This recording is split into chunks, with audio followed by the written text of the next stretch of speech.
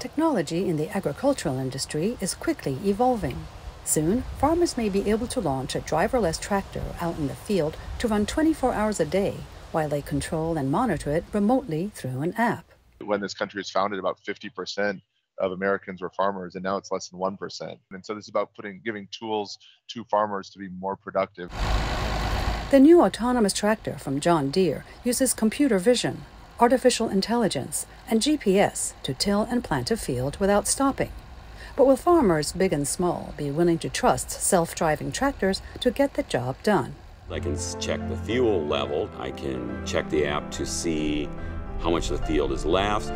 If there was something in the field that it wasn't sure about, the tractor will stop and alert me. Is this something I can go around? Live camera feeds allow the farmer a view of the field at any time. Seeds are precisely planted.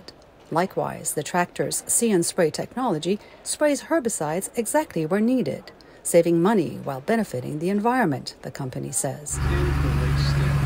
But the biggest potential benefit, some farmers say, will be the time saved. Sarah Rocker is a fourth generation farmer who grows sugar beets, wheat, and soybeans on her little farm in Montana. The big difference between what I currently have with my GPS driven tractor versus a fully autonomous tractor is mostly time. I can farm more land and be more efficient because of all these upgrades in technology. Farmers are fairly traditional, but I have a feeling that once they try it, they will become very accepting of it. The John Deere autonomous tractors will be available to farmers later this year.